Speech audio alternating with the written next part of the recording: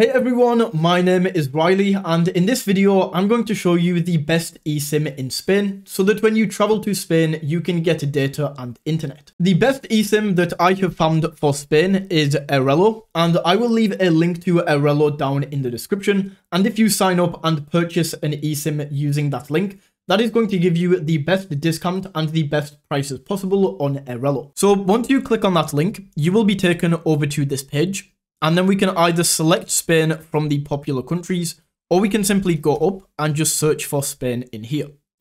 So let's click into Spain, and we can see these are all of the data plans that we have. We have everything running from 1 gigabyte all the way up to 20 gigabytes, depending on how much data you need. Each of these is of course going to come with a different price for the amount of data that you need to buy, but arguably just as important as the price is going to be what kind of coverage do you get and where is the coverage available in Spain?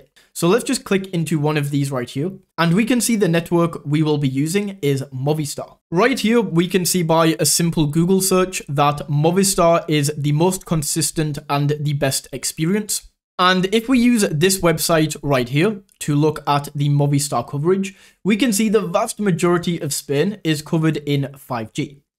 So if we go in, all of Madrid is covered in 5G. Then people also tend to visit Barcelona, which is also full of 5G, Valencia, Alicante, Malaga. And the only places that aren't covered, these are usually going to be like mountain ranges or like desolate places that people don't really go. So we can see these are all mountain ranges right here. But essentially, any town or city that you want to go to in Spain, the coverage is very good. The majority of it right here, as we can see, even in the small towns, is going to be 5G coverage.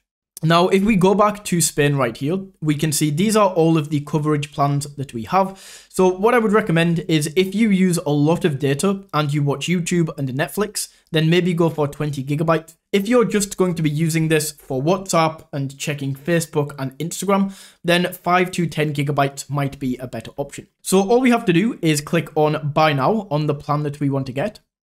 Then we can click on buy and then go through and purchase this SIM. Now, once you have the eSIM purchased, all we have to do is go up to My eSIMs.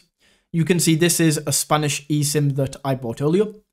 Then we can click into Details, select the device that we will be installing this on, whether this is Android or iOS. So we click in. And then all we have to do is scan this QR code right here on your phone and then follow these step-by-step -step instructions that it gives. And from there, it's very, very easy to set up your eSIM and get it connected with your phone. So that is the best eSIM for Spain. If you found this video valuable, don't forget to smash that like button and tap that subscribe button. And until next time, take it easy.